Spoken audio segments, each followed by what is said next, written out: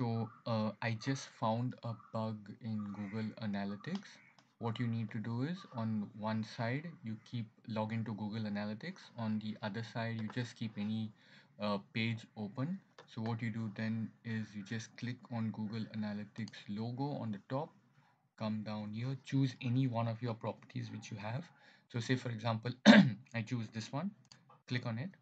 So once you click on it, what happens is that it opens another Google Analytics property in this property. So you get a property in a property.